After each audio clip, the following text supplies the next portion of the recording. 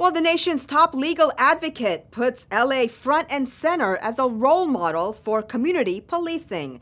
U.S. Attorney General Loretta Lynch paid a visit to talk social media, police transparency, and why LA is tops on the list. Anna Marcos reports.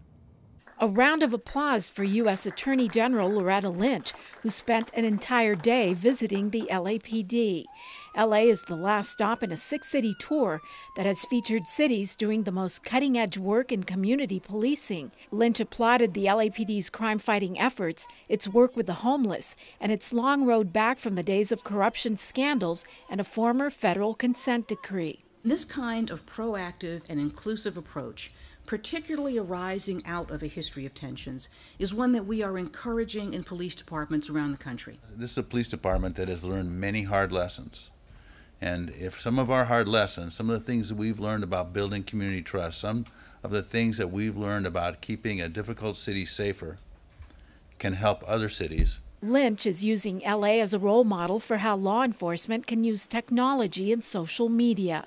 She says social media, which has brought to light many use of force incidents by police in communities of color, can also be the tool that helps officers reach out and heal divisions.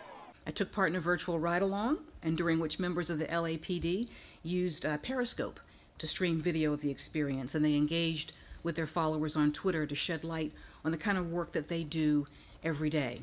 City leaders also announced they are moving ahead with funding to put body cameras on every LAPD officer on the street. Body worn cameras will resu result in greater accountability, both for officers and for the public. They'll enable our men and women in blue to build greater trust with people that are in our communities. Reporters asked Lynch her thoughts on the LAPD's policy, which denies access to the video by the public without a court order. My view has always been that you try and be as transparent as possible, and that when you cannot be, whether it's a body worn camera issue or whether when I am as here, for example, when if I give a press conference on a case and there are things that we cannot go into, I try and tell you why we can't go into it. Transparency for Lynch, a key issue. She says her department will publish a report on her tour so that police and communities around the country can put some of the best practices to use as they work together to find trust. I'm Anna Marcos for LA This Week.